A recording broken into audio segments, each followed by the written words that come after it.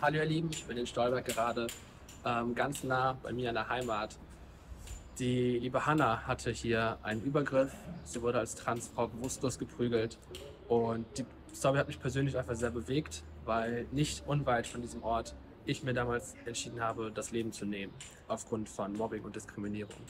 Und ich habe einfach mich heute hier mit dem Bürgermeister und der Hanna zusammengesetzt und wir haben über Maßnahmen gesprochen, die die Stadt Stolberg machen kann, um queeren Menschen ein sichereres Umfeld zu geben.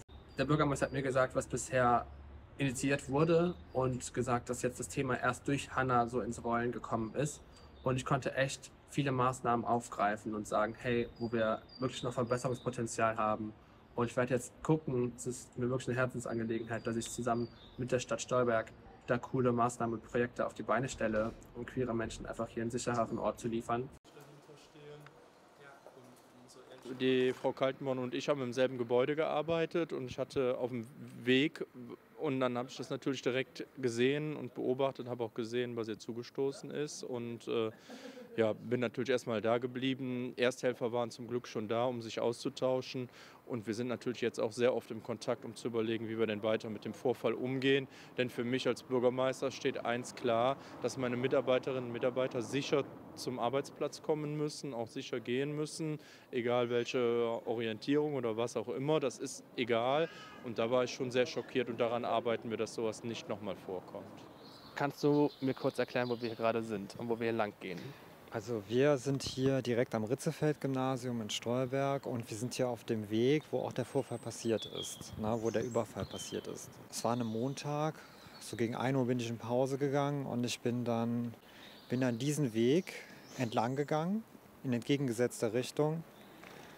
Bin vorher am Bastian Zweier habe ich eine Gruppe von Jugendlichen, oder Jugendlichen bin ich begegnet. Fünf, sechs Mann waren das. Ähm, ich musste an denen vorbei, die haben mich gemustert und als sie mich gesehen haben, auch schon direkt beschimpft mit ähm, Scheiß Transe, schwule Sau, Schwuchtel, die üblichen Beschimpfungen. Ich habe das auch schon vorher erlebt, auch hier in Stolberg. War natürlich dann wieder mal geschockt, wenn mich das immer wieder schockt einfach, diese, ähm, diese Beschimpfung. Das trifft mich total hart und ich war auch wieder total aufgelöst. Ich habe dann meinen Freund angerufen. Der ist auch direkt ans Telefon gegangen. Wir haben dann telefoniert. Der hat dann auch zu mir gesagt, ja, geh einfach weiter.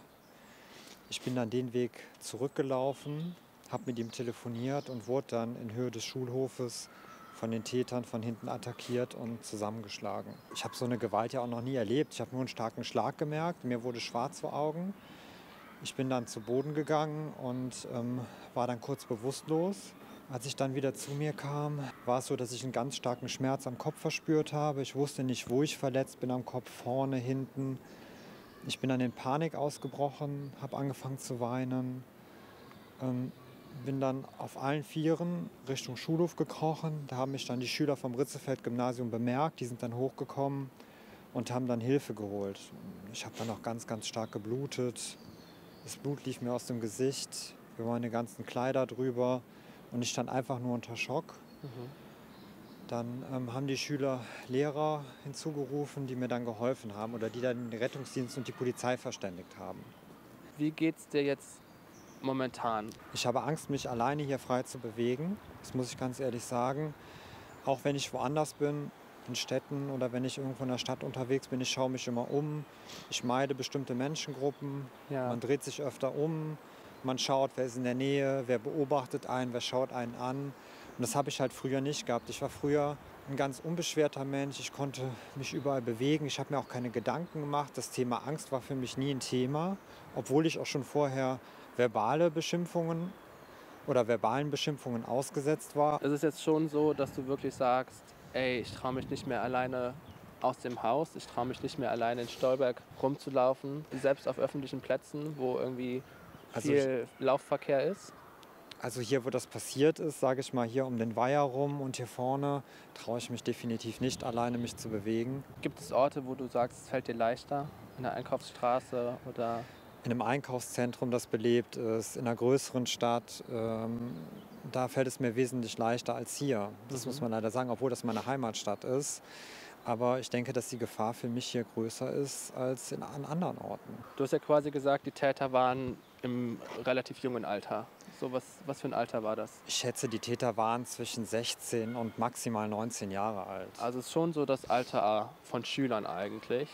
Wie stehst du jetzt momentan so dazu? Weil einerseits waren ja dann Schüler und das Schüleralter die Täter, andererseits waren es ja auch die Ersthelfer. Also Ja. es gibt da auch Unterschiede. Es gibt äh, Jugendliche, die neigen zur Gewalt, aus welchen Gründen auch immer. Und es gibt aber, ich glaube, die Mehrzahl der jungen Leute, die sehr tolerant sind. Wie war es bei dir eigentlich damals so, als junger Mensch in Stolberg aufzuwachsen? Also wenn ich mich an meine Jugendzeit erinnere, das war ja dann Ende der 90er Jahre. Als ich so in dem Alter war, 15, ähm, war es halt so, dass das Thema LGBTQ überhaupt keine Rolle gespielt hat. Ich habe sie auf jeden Fall unterdrückt, weil es in meinem Umfeld, wo ich groß geworden bin, hier in der Kleinstadt und auch im familiären Umfeld, mir äh, damals nicht möglich gewesen wäre, mich zu outen. Also ich glaube, ich hätte da die Hölle auf Erden erlebt. Hast du so ein Outing gehabt? Wirklich, dass du gesagt hast, hast dich hingestellt und gesagt, hey Leute, ich möchte euch was sagen. Kam das schleichend? Wie war da dieser Prozess bei dir, wenn du das sagen möchtest? Ja, also der Prozess ähm, kam bei mir schleichend. Es war dann so, dass ich dann irgendwann gesagt habe, ähm, ich stehe zu meiner Sexualität Mhm. und habe das auch in meinem Umfeld dann äh, praktisch, habe mich dann in meinem Umfeld geoutet. Es war dann so, dass ich unterschiedliche Reaktionen bekommen habe. Ich habe die, die reichten von Unverständnis bis hin zu, ähm, ja, du bist doch verrückt oder ähm, warum machst du das? Es gab aber auch Leute in meinem Umfeld, die ähm, positiv reagiert haben, äh, die mich unterstützt haben, die versucht haben, mir zu helfen. Also die Reaktionen waren sehr gemischt. Ich meine, ich muss dazu sagen, ich war jetzt auch schon in, ich war, war jetzt kein ganz junger Mensch mehr, Wie alt warst du ungefähr? 35. Hast du dich als junger Mensch einfach nicht in der Lage gefühlt, krafttechnisch das zu bewerkstelligen und warst du dir unsicher lange? Also ähm, meine Sexualität ist ja die Transsexualität und ähm, da war ich mir, war es halt so, dass ich zum damaligen Zeitpunkt, als ich jetzt jung war, wie gesagt, in meinem Umfeld, wo ich groß geworden bin, noch hier in der Kleinstadt, ähm, für mich sehr, sehr schwer geworden wäre. Ich hätte vielleicht den Weg gehen können, aber ich hatte auch Angst vor Ausgrenzung. Ich hatte Angst, dass ich vielleicht keinen Job finde und ähm, dass hast ich das schon im jungen Alter auch irgendwie gemerkt, genau dass du transsexuell bist? Genau, ich habe das schon sehr früh gemerkt, musste das auch jahrelang unterdrücken. Dadurch habe ich auch sehr gelitten. Ja. Ich hatte teilweise Depressionen, ähm, mir ging es gar nicht gut, ähm, ich war unzufrieden, ich war mit meinem Leben generell sehr unzufrieden. Und ähm, das hat auch viel mit mir gemacht. Also das war sehr, sehr schlimm für mich. Gibt es so eine Sache, die du als heute gestandene, erwachsene Hanna bei mir gerne der kleinen Hanna sagen würdest? Der 16-jährigen, 15-, 14-jährigen Hanna? Ja, ich würde der Hanna im Jugendalter gerne sagen, trau dich mehr, sei mutiger, hab keine Angst ähm, vor den Reaktionen anderer, mach dich von anderen Leuten nicht so abhängig, geh deinen eigenen Weg und versuch einfach glücklich zu sein.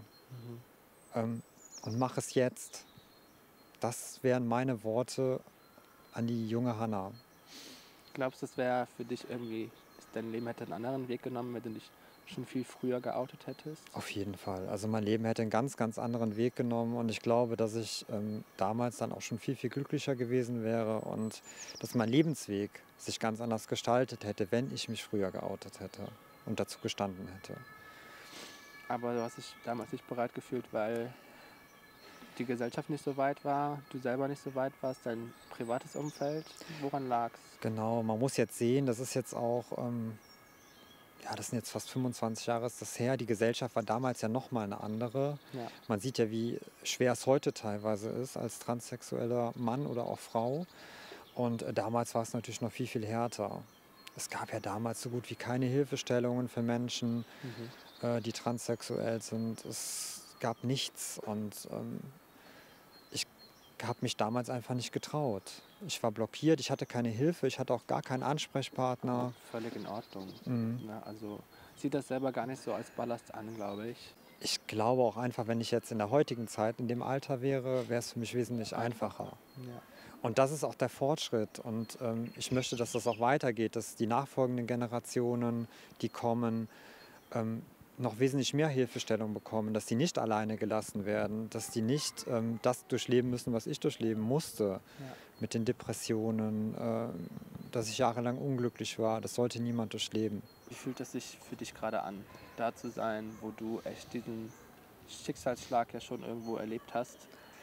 Ist es ein beklemmendes Gefühl? Ist es mittlerweile irgendwie schon so aufgearbeitet? Ist es nicht weit von deinem Arbeitsweg entfernt, von deinem Arbeitsplatz? Also es ist immer noch ein beklemmendes Gefühl, wenn ich hier stehe.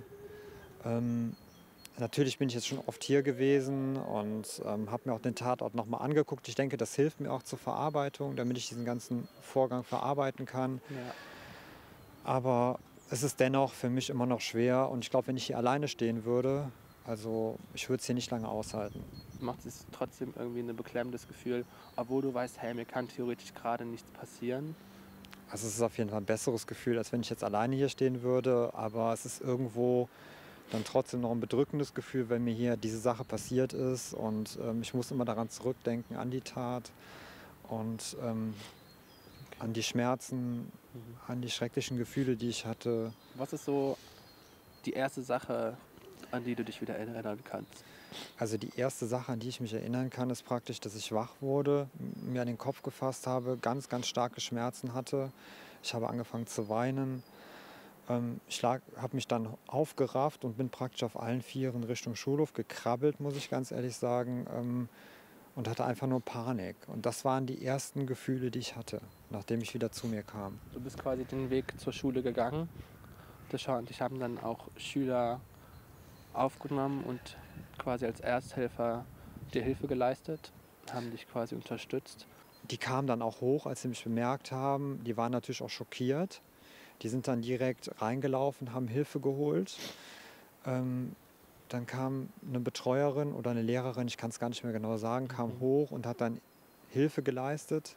Das war die erste, die hier war, hat, die mir dann geholfen hat. Und ähm, ja, so ging das dann praktisch war das dann eine Kette, die sich ereignet hat. Ich saß hier, es kamen immer mehr Menschen dazu, die Polizei wurde gerufen, der Rettungsdienst wurde gerufen, ich wurde versorgt und ähm, ich habe die ganze Zeit nur geheult, ich stand unter Schock, ich habe gezittert. Ähm, solche Gefühle habe ich noch nie gehabt. Wenn du jetzt den Menschen da draußen was sagen könntest, um ihnen zu helfen, um ihnen Mut zu machen, was würdest du anderen Gleichgesinnten oder ebenfalls queeren Personen sagen? Ja, ich würde sagen, versteckt euch nicht, lebt euer Leben, seid mutig, geht nach draußen, zeigt Flagge, lebt das aus, was ihr seid. Ähm, lasst euch nicht von anderen Menschen entmutigen, die vielleicht was dagegen haben oder die euch, ähm, die eure Lebensweise kritisieren. Ihr seid einzigartig, ihr seid toll und so wie ihr lebt, ähm, das ist eure Sache, da kann, darf niemand oder egal ob das Familie ist, Freunde, Verwandte, darf niemand drüber urteilen. Ja, das hast du schön gesagt.